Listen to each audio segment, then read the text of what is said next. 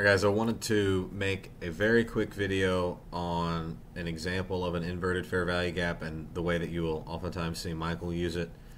So, uh, I'm on, let's get on an hourly chart. We're on the NASDAQ, and obviously it's up quite a bit in the AM session today on Friday.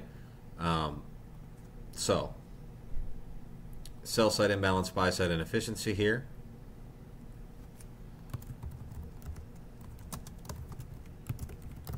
Okay. So this is an example of an inverted fair value gap where the price um, comes back up to it and trades through it. So here, obviously, you have to be able to identify a sell side imbalance, buy side inefficiency. Notice that between these two price points, only the candle body was offered. It would be a normal fair value gap if price traded up into it and then traded back down. But once it started trading through it and using it as support to go even higher, it became an inverted fair value gap. The the reason that you had a good guess it was probably going to be an inverted fair value gap is because we had buy side liquidity above, buy side liquidity here, and buy side liquidity here.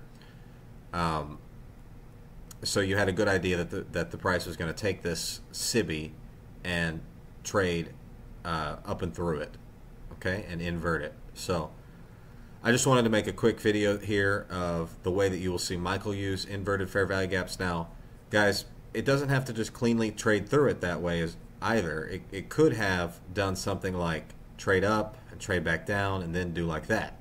So either one of those would be an inverted fair value gap so long as the SIBI is taking you higher or the, the buy side imbalance, sell side inefficiency is taking you lower. So anyways, guys, just wanted to give you an example here of an inverted fair value gap. Um, this has just been a quick ICT basics video. I hope that y'all are doing well. I'm, I'm currently flat, so all right. Bye bye.